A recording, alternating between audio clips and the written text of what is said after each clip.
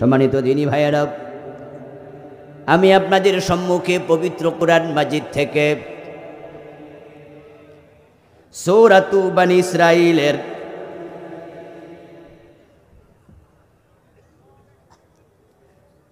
তেইশ এবং চব্বিশ নম্বর আয়াতে কারিমা তেলোয়াত করেছি। বিশ্বনবীর পবিত্র মুখ অনুসৃত এখানে ছোট্ট হাদিসে নববী পাঠ করেছি। আল্লাহ তাআলা তৌফিক দান করলে এখান থেকে কিছু কথা বলব, ইনশা আল্লাহ। আল্লাহ তাআলা সূরাতু বানি ইসরাইলের তেইশ নম্বর আয়াতে কারিমাতে দুনিয়ার মানুষকে লক্ষ্য করে নবী মোহাম্মদুর রসুল্লাহ সাল্লাহ আলাইহি ওয়াসাল্লামকে মুখাতাব বানায়া বলছেন وقضى ربك ألا تعبدوا إلا إياه হে প্রিয় নবী আপনার প্রভু ফয়সালা দিয়েছেন কজাব তিনি রায় প্রদান করছেন আল্লাহ তাবুদু ইল্লা ইয়াহু শুধুমাত্র আল্লাহ ব্যতীত আর কারও এবাদত করা যাবে না। আল্লাহ রায় প্রদান করছেন। কজা শব্দটির মাঝে কাজির কর্ম সুস্পষ্টভাবে নির্দেশনা করছে।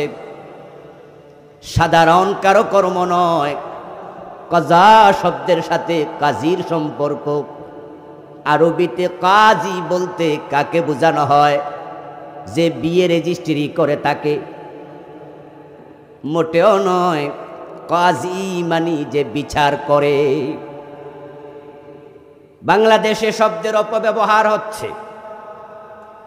এখন বাংলাদেশে কাজী বললে বোঝানো হয় যে ম্যারিজ রেজিস্টার খলিফা বললে বোঝানো হয় যে জামা কাপড় সিলা ঠিক না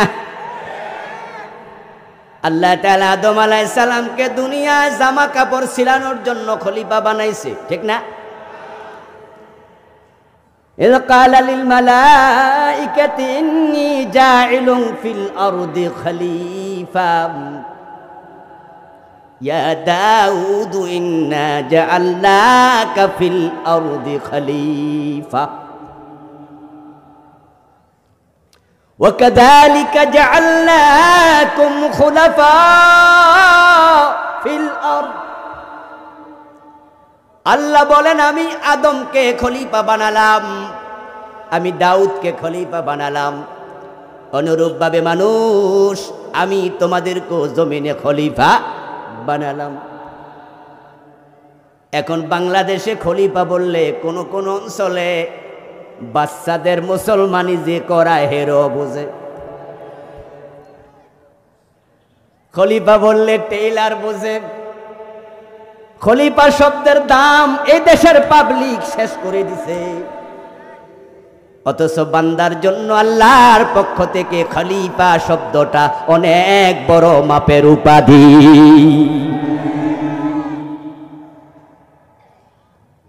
কাজী শব্দের আমরা বারোটা বাজায়া দিছি। নরসিংদী শহরের বিভিন্ন জায়গায় গেল, দেখবেন সাইনবোর্ডে লেখা আছে, কাজী অফিস, ঠিক না? এগুলো আরবি শব্দের অপব্যবহার চলছে।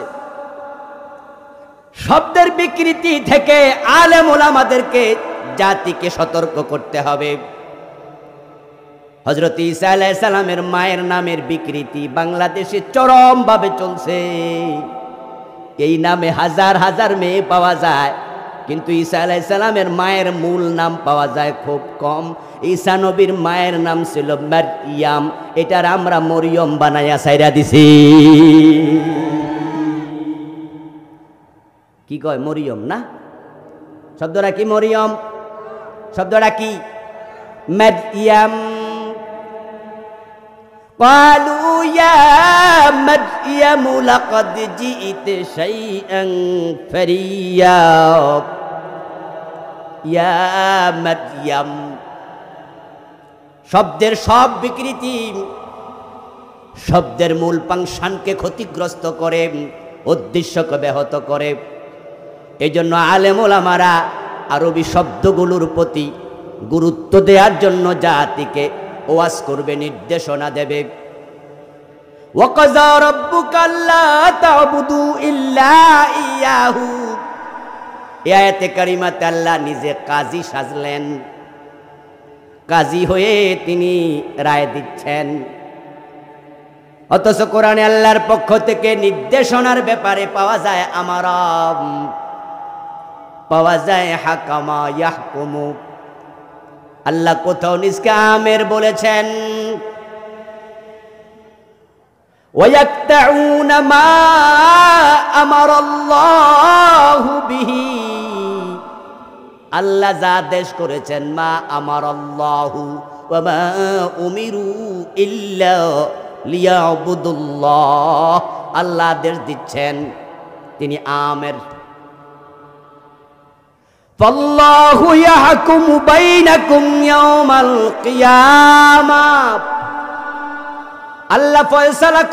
তিনি হাকেম। কিন্তু এখানে আপনার প্রভু রায় দেন, এখানে তিনি কাজী। শব্দটি বড় সিগনিফিকেন্স পূর্ণ আমার বন্ধু স্কুলে মাদ্রাসে আমরা যারা পড়ি শিক্ষক আমাদেরকে আদেশ দেয়, আগামীকাল পড়া শিখে এসো। এই আদেশ যদি ছাত্র না মানে শিক্ষক ছাত্রকে জেলে দেয়, এমন কোনো ঘটনা দুনিয়ায় শুনছেন নাকি? শিক্ষকের আদেশ মানে নাই, জেলে যাওয়া লাগে না। হয়তো কানে ধরে একটু দাঁড় করায় রাখবে, শিক্ষক যদি মেজাজি হয়, অথবা দুই একটা দমক দেবে। বাবা বলেছে, এটা করো, হুকুম দিয়েছে, এটা করো না। সন্তান যদি বাবার হুকুম না মানে জেলে গিয়েছে এমন ঘটনা শুনছেন নাকি? কথা বলতে হবে। শুনেছেন কোনোদিন? হুকুম না মানলে জেলে যাওয়া লাগে না। বাবা হয়তো বকুনি দেয়। কিন্তু কাজী যদি কোনো রায় দেয়, ওইটাও মান্য করলে জেলে যাওয়া লাগে কিনা? তাহলে বোঝা গেল কাজীর রায়ের গুরুত্ব আমের আমর থেকে, হাকেমের হুকুম থেকেও বেশি। কাজী তার চেয়ারের কারণে তার অর্ডারের দাম। যিনি বিচারক হন, ওই বিচারকের সম্মান সাধারণ আদেশকারীর চেয়ে বেশি। আজকে যে আয়াত নিয়ে আমি কথা বলব, এখানে আল্লাহ নিজেকে বিচারক বানালেন। রব্বুকা, তোমার রব রায় দিচ্ছে। দুনিয়ার কোন কাজই যখন রায় দেয়, ওই দেশের মানুষ তার রায় মানতে বাধ্য। রায় মানি না। এ কথা বললে আদালত অবমাননার মামলা খাওয়া লাগবে। এজন্য আপনারা দেখবেন কোর্টগুলোতে যখন কোনো মামলার রায় দেয়, এক পক্ষ রায় পেয়ে খুশি, আরেক পক্ষ বেজার। তাদের অ্যাডভোকেট বলে, এটা ফরমাইশি রায় হয়েছে। আমরা নেই বিচার পাই নাই। আমরা উচ্চ আদালতে ফিল করব। শব্দগুলো শোনেন, রায়টা ফরমাইশি। রায়টা আমরা অনুকূলে আসেনি। রায়টা সঠিক হয়নি। এই রায় আমাদের জন্য ঠিক হয়নি। এই রায়ের বিরুদ্ধে আমরা এফিল করব। এ পর্যন্ত সীমিত থাকবে এই রায় মানি না, এটা বলার অধিকার নেই।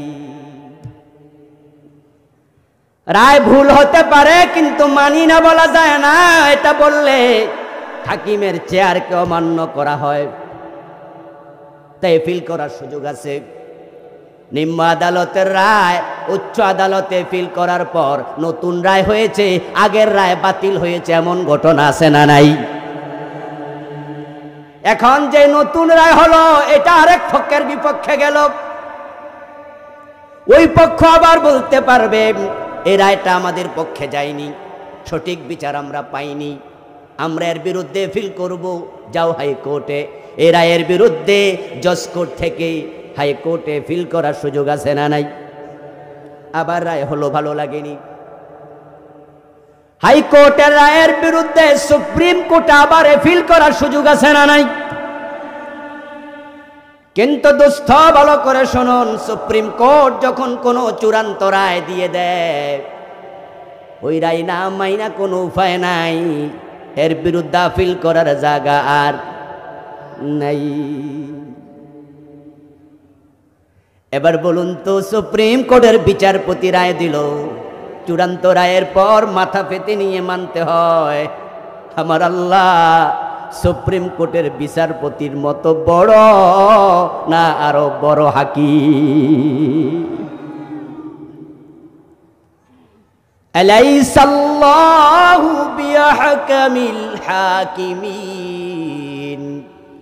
আল্লাহ কোরআন মাজিদে নিজেকে কাজীর জায়গায় বসালেন।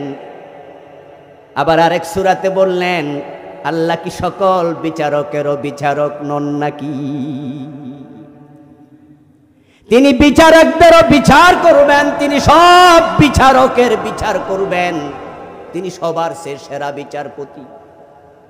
এবার সৌরাতুল বানি ইসরাইল আল্লাহ তাআলা 23 নাম্বার আয়াতে যে রায়গুলো আস্তে আস্তে করে শুরু করলেন, সামনে বলবেন এখন আমরা যারা আল্লাহর গোলাম, আল্লাহর রায়গুলো মেনে নেয়া দরকার আছে না নাই? না মেনে যাবেন কই যাওয়ার রাস্তাও নেই। আল্লাহ তাআলা যে রায় দেন এই রায়ের বিরুদ্ধে ফিল করার কোনো জায়গা আছে? সে জায়গাও তো নাই। এখন যারা আল্লাহর রায় মানবে না সুপ্রিম কোর্ট রায় দিয়েছে, ওই রায় মানি না। এ কথা বলবা না, বললে মামলা খাইবা। ওই রায়ে যাওয়া থাকবে তা মানতে হয়, না মানলে তোমাকে জেলে যাওয়া লাগবে। এখন আমার আল্লাহ সৌরাবানি ইসরাইলে যে রায়গুলো এখন দেবেন, দুনিয়ার যেই মানুষ আল্লাহর রায় মানবে না, তাকেও জাহান্নাম নামক জেলখানার কয়েদি হওয়া লাগবে।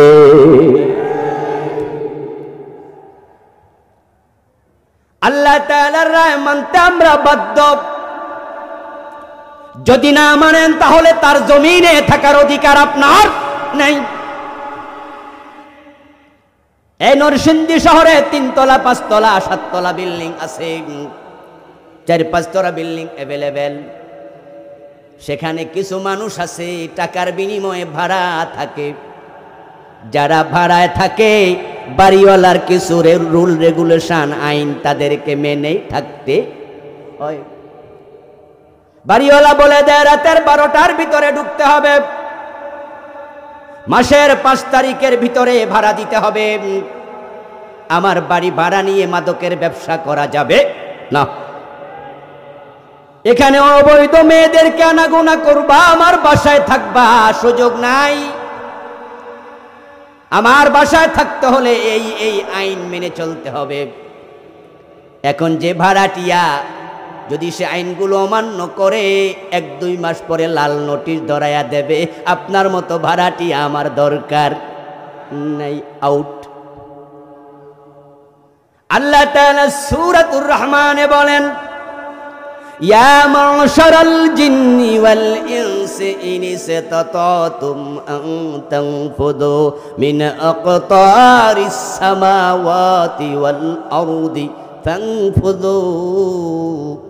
ও মানুষ এবং জিনেরা, আমি আল্লাহ যে রায় দেই, যে বিধান দেয় আমার বিধান মেনে যারা আমার জমিনে থাকতে চাও না, আমার আকাশ আমার জমিনের সীমানা থেকে তোমরা বেরিয়ে যাও। আল্লাহর জমিনে থাকবেন, আল্লাহর কথার বাহিরে চলবেন অধিকার আল্লাহ আপনাকে দেয় নাই। এখন কোথায় যাবেন? মঙ্গল গ্রহে, নাকি চাঁদের দেশে? আল্লাহ বলেন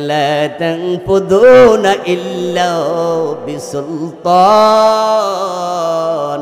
যাওয়ার জায়গা নাই। যেখানে যাবে সেখানে রাজত্বটাও কার আমার জমিনে থাকতে হলে আমার আইন মেনে চলো। কিন্তু বন্ধু আল্লাহর কোটি কোটি বান্দা, আল্লাহর আইন মানতে রাজি নাই। আল্লাহর আইনের কথা শুনলে চেহারা কালো হয়ে যায়, এমন বান্দাও আছে না নাই।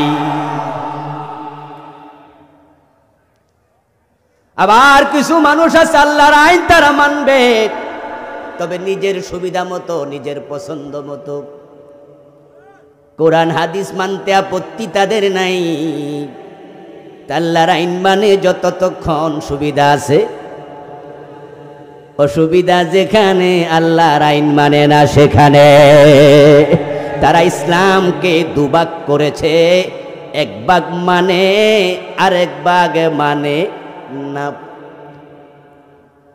এক বাগ যারা মানে তারাও অবাধ্য, আল্লাহর অবাধ্য গোলাম। তারাও আল্লাহর বাধ্যগত গোলাম নয়। যারা আল্লাহর রায় মেনে নিয়েছে, মেনে নেবে, তাদের অভিব্যক্তি কি হবে? কলু, সমেনা সুবহানাল্লাহ পড়েন ভাইয়া। আল্লাহ তাআলা বলছেন, আমার বাদ্য গুলামদের অভিব্যক্তি হবে শুনলাম আর মাথা পেতে মেনে নিলাম। আর কিছু মানুষ থাকবে যারা সুবিধা মতো মানবে। আর একটু যখন নিজের স্বার্থে লাগবে, ব্যবসায় লস হবে, চাকরিতে আঘাত হবে, স্বার্থ নষ্ট হবে, তখন তারা বলে সব কি আর মানা যায় এ চিন্তার কিছু লোক আছে না নাই আল্লাহর বক্তব্য কি يقولون نؤمن ببعض ونكفر ببعض يريدون أن يتخذوا بين ذلك سبيلا أولئك هم الكافرون حقا আল্লাহ তাআলা বলেন, কিছু মানুষ আছে যারা বলবে, নুমিনু বিবাদ, কিছু তো মানি। তো সব কেন মানেন না? নাকফুরু বিবাদ কেন বলেন? হুজুর, সব কি আর মানা যায়? আপনারা, হুজুররা তো সমাজ চালান না। আপনারা ওয়াজ করে বাড়ি চলে যান। কেমনে সমাজ চালানো লাগে, দেশ চালানো লাগে, বোঝেন না, সুদ হারাম। এই ওয়াজ করে তো মাঠ গরম করে ফেলেন। কিন্তু আমরা বুঝি, যদি সুদকে আমরা নিষিদ্ধ করে দেই, তাহলে বিশ্ব ব্যাংক ঋণ দেবে না। আইএমএফ দেবে না এডিবি দেবে না অমক দেবে না, তমক দেবে না। তাহলে রাস্তা হবে কীভাবে? বিদ্যুতায়ন হবে কীভাবে? সুদের উপরে টাকা যদি না আনি, ব্রিজ বানাবো কি দিয়া? দেশ উন্নয়ন করব কি দিয়া? তা আমরা তো নামাজ রোজা মানি, কিন্তু সুদ হারাম, এটা আমাদের মানতে একটু ঝামেলা আছে। তাই সব কি আর মানা যায়? যুক্তি দিয়া হারামকে জায়েজ করতে চায়, এমন মানসিকতার কিছু নামাজিও আছে না নাই। তারা বলতে চায়, কিছু তো মানি, একবারে মানি না, তা তো নয়, মানি তো কিছু। আমার আল্লাহর বক্তব্য আমার জমিনে থাকবা। কিছু মানবা, কিছু বাদ দিবা। এই অধিকার আমি তোমাদেরকে দেই নাই। যারা বলবে, কিছু মানি কিছু মানি না। ইউরিদু নাই, ইয়াত্তাখিযু বাইনা যালিকা সাবিলা। তারা মাঝামাঝি রাস্তা খোঁজে, অথচ মাঝামাঝি কোনো রাস্তা নাই। ওলাইকা হুমুল কাফিরুনা হাক্কা। যারা সব মানবে তারাই হলো মুমেন। যারা কিছু মানবে অথবা মোটেও মানবে না, তাদের নাম মোমেনের তালিকায় নাই। তারা অরিজিনাল কাফের থেকে যাবে। এই জন্য আল্লাহর বক্তব্য সুস্পষ্ট আমি আল্লাহর আইন বুঝে শুনে মেনে নাও। যে চায় সে মোমেন হোক, মেনে নিয়া মোমেন হোক। যার ভালো লাগে না, দরজা খোলা আছে আউট বের হও, কাফের হয়ে যাও, আমি আল্লাহর কিছু আসে যায় না, সুবিধাবাদ জিন্দাবাদে মোমেন হওয়া যায় না।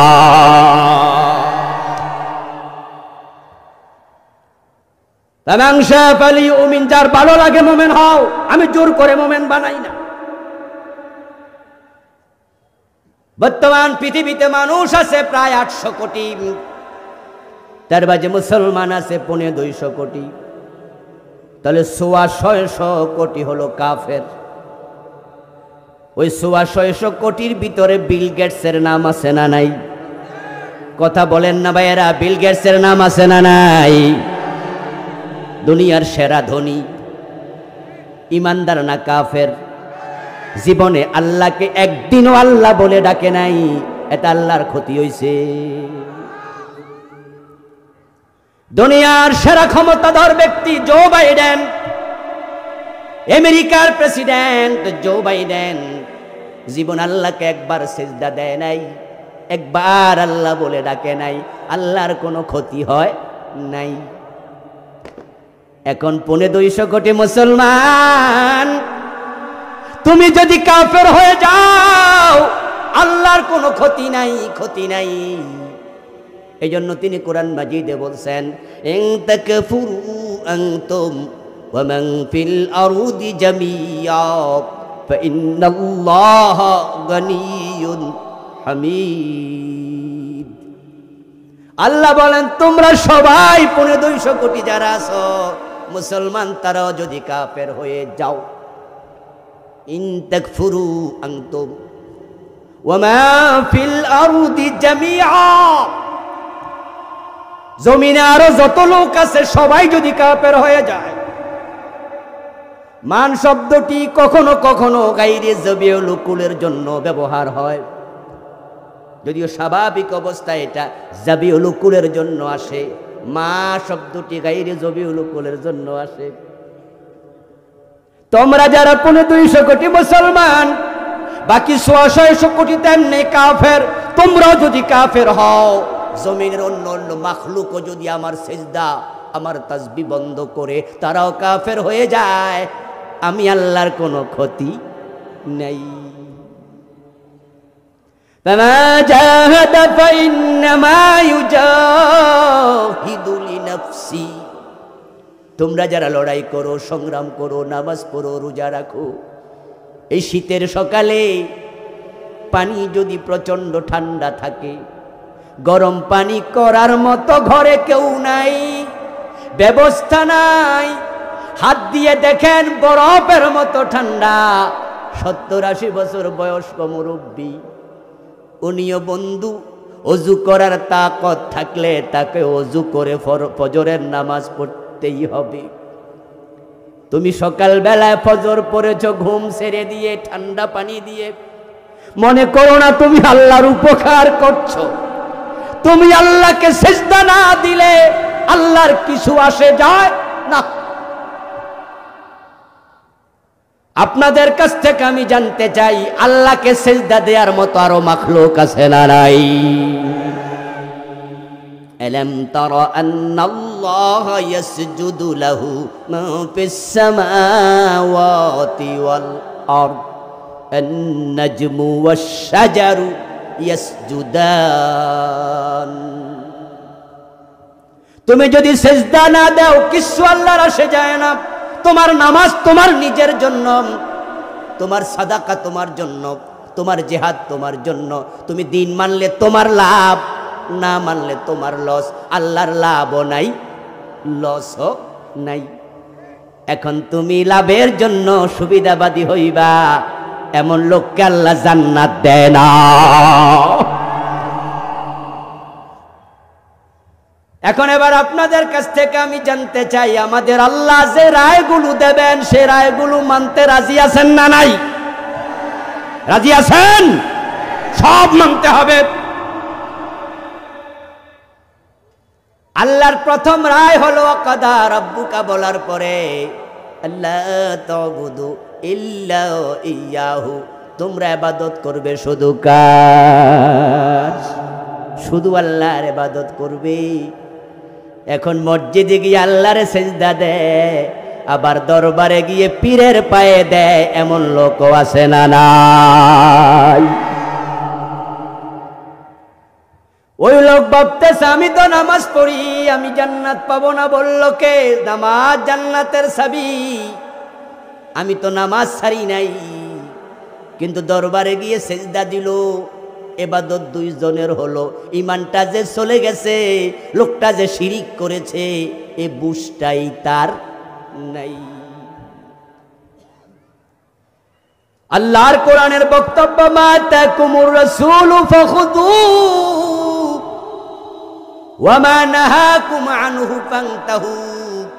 আমার এবাদত মানে হলো আমার রাসূল জানিয়ে এসেছেন, ধরো, যা ছাড়তে বলেছেন সারক এ দুটা মিললে হবে এবাদত। এখন নামাজ ধরেছে, কিন্তু সিনেমা হলটা বন্ধ করে না।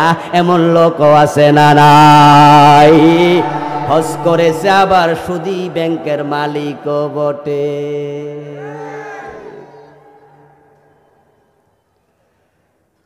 আল্লাহ তাআলা বলছেন, রাসূল যা করতে বলেছে করো, যা ছাড়তে বলেছে ছাড়ো। এখন আল্লাহর হাবিবের জীবন অনুসরণ করে না যে ব্যক্তির শেষ কালেমা হবে এমন হাদিস আছে না নাই? কিন্তু আজকে বক্তা কিনা মাহফিলে সে মানুষরে কয় কালেমা টালেমা দরকার নাই। কালেমা কালামো বাই কোনো কিছুর দরকার নাই। আমার মরণ কালে কি বাজাই ডোলবাসী আস্তাগফিরুল্লাহ। এমন বক্তাও বের হয়েছে, শ্রোতাও বের হয়েছে, সে বলছে কিনা মরণকালে ডোলবাসী বাজাইও? ও দরবারি ভাই। বলে কিনা কালেমা কালাম ভাই, কোনো কিছু দরকারি নাই। আমার গৌস পাকের গুণকুতি গাইও, ও তরিকার ভাই। এটা কোন তরিকা? এটা জাহান্নামের তরিকা।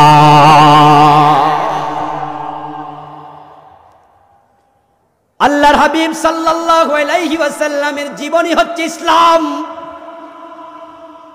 যে এবাদত আল্লাহ তার করতে বলেছেন, ওই এবাদত বিশ্ব নবীর জীবন থেকে নিতে হবে। রাসূলের জীবনের সাথে যেটা মিলবে না, সাহাবাদের জীবনের সাথে যেটা মিলবে না, ওটার নাম এবাদত হতে পারে না। এবাদত করবেন আল্লাহর। এই বিষয়ে পনে দুইশো কোটি মুসলমান একজন দ্বিমত করবে, আমি মনে করি না। সবাই বলব, হুজুর, এবাদত তো আল্লাহরই করি। আমাদের নরসিংদী জেলায় যত মানুষ আছে, রাষ্ট্রীয় কোন ফরমানের মাধ্যমে যদি সব বালেক বালেগাও নারী পুরুষকে এক জায়গায় জড়ো করা হয়, সরকার অর্ডার করছে, সবাই যাও অমুক মাঠে। একজনও থাকতে পারবা না। ধরুন সবাই হাজির হলো। সেখানে পাঁচ লাখ মুসলমান, চার লাখ মুসলমান একত্রিত হলো। নরসিংদী জেলায় একজনও বাড়িতে নাই, ওই মাঠে আছে। এবার সেখানে যদি মাইকে প্রশ্ন করা হয়, ও নরসিংদীর মুসলমানেরাও, আপনারা এবাদত করেন কার? জবাবটা কি হবে? আপনাদের মুখ থেকে আমি শুনতে চাই, জবাবটা কি হবে? সবাই